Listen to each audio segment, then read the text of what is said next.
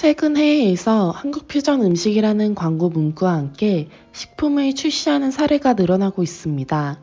그중 한류에 대한 사랑이 남다른 필리핀이 대표적인데요. 필리핀 맥도날드에서는 한류 퓨전 메뉴인 K버거를 도미노 피자에서는 삼겹 피자를 이벤트로 출시해 각각 한국의 맛, 서울의 맛이라는 광고 문구를 사용하여 한식 퓨전 메뉴임을 강조했습니다. 이는 K 콘텐츠를 통해 한국화 음식이 세계에서 유명세를 떨치면서 생겨난 것 중 하나로 보여집니다. 실제로 영화 기생충에서 나온 짜파구리와 다양한 드라마에서 등장한 뚱카롱 등이 그 예인데요. 이처럼 원조보다 더한 글로벌 인기를 구가하고 있는 K푸드에 대해 소개하고자 합니다. 뜨겁게 익힌 소시지를 기다란 빵 사이에 끼워 넣는 음식인 핫도그는 사실 미국 음식입니다. 하지만 한국에 들어오면서 한국식에 맞게 맛과 모양이 변화했습니다. 소시지에 바로 반죽을 묻혀 튀겼고 그 위에 감자, 고구마 등 토핑을 올렸습니다.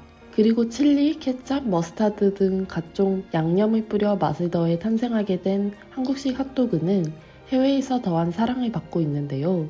406만 명의 구독자 수를 보유하고 있는 대형 유튜버 영국 남자에서 런던에 상륙한 한국식 핫도그 집을 찾아가 화제가 됐습니다. 영국 남자에서는 한국식 핫도그가 현지인들이 줄을 서서 먹을 정도라고 소개하기도 했습니다.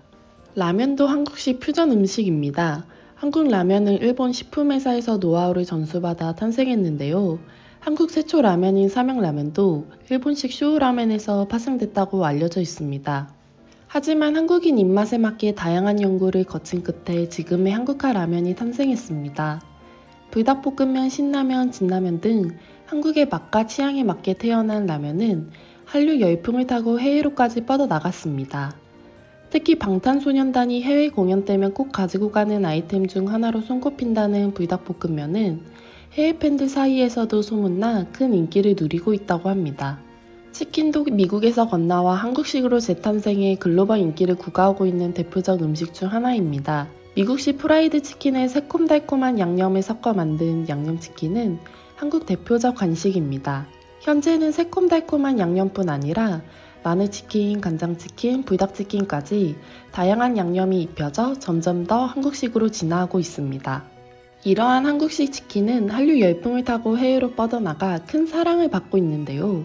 2013년도에 반영된 별에서 온 그대에서 주인공들이 먹던 치맥 영상이 큰 화제를 모았습니다.